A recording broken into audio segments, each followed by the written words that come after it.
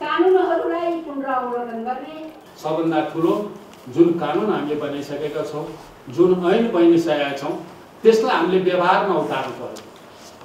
व्यवहारमा उतारेपछि त्यसले धेरै ठुलो हदै काम गर्छ। कानुन बनेको कानुनलाई पनि हामीले व्यवहारमा उतार्न सकेको छैन।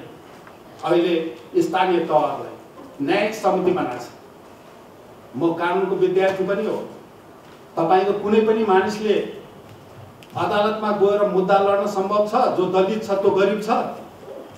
जिल्लामा तपाईँ एउटा मुद्दा लेख्नु भयो भने दस हजार रुपियाँ दिन्छ मिनिमम। अनि तपाईँ उच्च अदालतमा गयो भने पन्ध्र हजार दिन्छ केन्द्रमा चाहिँ पच्चिसदेखि पचास लाख दिन्छ। जसलाई दुई छाक खानालाई धौधो परिरहेछ उसले न्याय पाउँछ न्यायालयबाट पाउँदैन। त्यस कारणले हामीले अहिलेको संविधानले हाम्रा स्थानीय तहहरूमा उपमेयर होस् या मेयर होस् न्यायिक समितिको व्यवस्था गरेछ। त्यसलाई अझ प्रभावकारी ढङ्गबाट त्यो प्रभावकारी छैन। अहिले पनि छलफलको रूपमा चलिरहेछ। त्यो एउटा अदालत हो। त्यसले गरेको निर्णय अदालतमा लाग्छ। तर त्यो हाम्रो कानुनको अज्ञानताले गर्दा सामाजिकको का समाजले गर्दा त्यहाँको जनप्रतिनिधिले गर्दा त्यसलाई ठिक ढङ्गले महिला दिदीबहिनीहरूलाई सहयोग पाइरहेको अवस्था छैन। त्यसलाई हामीले ठिक ढङ्गले कानुनले तोके अनुसार व्यवस्थापन गर्ने हो भने त्यसले पनि धेरै हदसम्म तल्लो वर्ग छ विपन्न वर्ग त्यसले न्याय पाउँछ।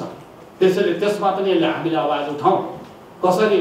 हाम्रो संविधानले दिएका कुराहरू हाम्रो ऐनले दिएका कुराहरू संविधानले कुनै पनि भेदभावको सम्पूर्ण भेदभावको अन्त गर्ने हुनेछ कानुनमा त्रुटि छैन।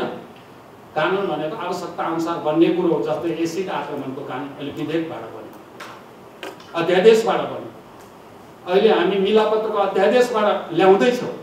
कानुन भनेको आवश्यकता अनुसार परिवर्तन हुँदैन जाने कुरो त्यसैले त्यो हामीले क्रमशः गर्ने कुरा हो। तर के भने अहिले पनि एउटा कलमको रूपमा हामी नेपालमा देखिरहेका छौँ घटनाहरू छ वर्षको बालिकाहरू फलत्कृत हुन्छ।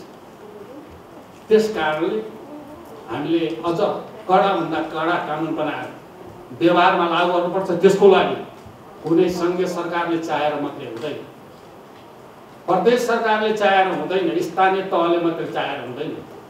हामी आफैबाट सुरु गर्नुपर्छ हाम्रो परिवारबाट सुरु गर्नुपर्छ अनि समाजबाट गर्नुपर्छ। हाम्रा छोरी चेलीहरू लैङ्गिक हिंसा सम्बन्धी पाठ्यक्रममा राख्न लाई भोलि हुन त आजै अब बनिसकेको हुनाले पाठ्यक्रममा सम्भव नहोला।